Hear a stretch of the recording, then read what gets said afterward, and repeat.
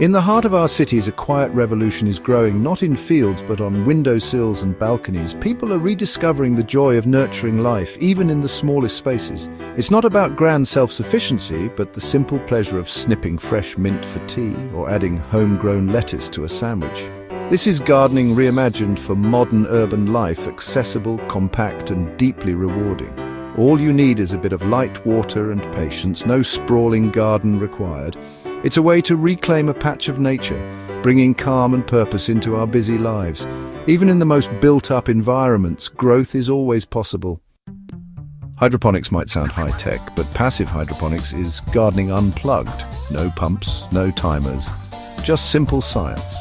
This method uses natural principles, letting plants take what they need when they need it.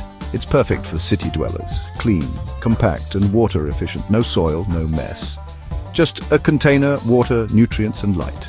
The system is forgiving and low maintenance, ideal for busy or forgetful people. You set it up and the plants do the rest. It's a partnership with nature, not a battle. Passive hydroponics offers the rewards of gardening without the hassle.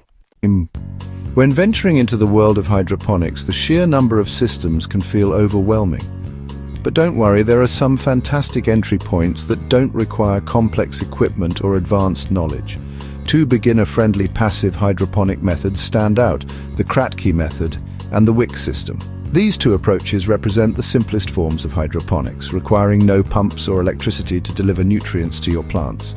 Both are simple, effective, and can be set up with household items.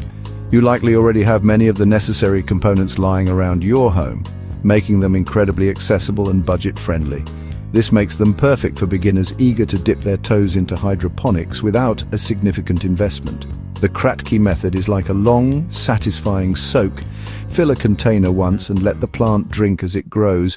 It's a truly set-it-and-forget-it system, ideal for those who prefer a hands-off approach. The plant's roots dangle in a nutrient-rich solution, absorbing what they need as the water level gradually decreases. The wick system is a gentle, constant sip, Water is drawn up steadily through a wick, keeping roots moist. This constant supply of moisture is particularly beneficial for plants that prefer consistently damp conditions. The wick acts as a bridge, drawing nutrient solution from a reservoir up to the growing medium where the plant's roots reside. Kratky is perfect for fast-growing greens. The wick system suits thirstier or longer-lived plants. Consider the specific needs of your chosen plants when deciding which system to use. Kratky is a sprint set it up, let it grow and harvest quickly. It's ideal